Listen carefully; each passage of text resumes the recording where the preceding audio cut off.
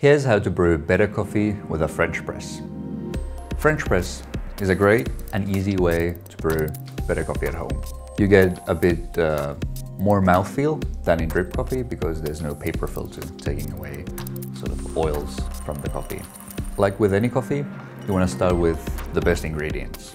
So high quality, freshly roasted coffee and good quality soft water. Ideally, you would grind the coffee yourself. That's, that's the best way to get most flavors in there. You want to grind the coffee a little bit coarser than for drip coffee. For the French press, we recommend using uh, 60 grams of coffee per one liter of water. That's a good starting point. To start with, boil your water and let it cool down for about 30 seconds.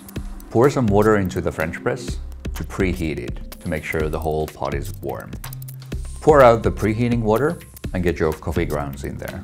Pour in some water, like a half a deciliter, and with a spoon, stir the coffee to make sure all the grounds are evenly wet. After that, pour the rest of your water.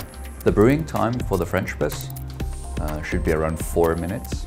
After you've poured all the water, put a small plate on top of the press to make sure the heat stays in there. After four minutes, you can use a spoon to break the crust, as we say, uh, the coffee grounds that have formed on the, on the top. With two spoons, scoop out the foam on top of the coffee.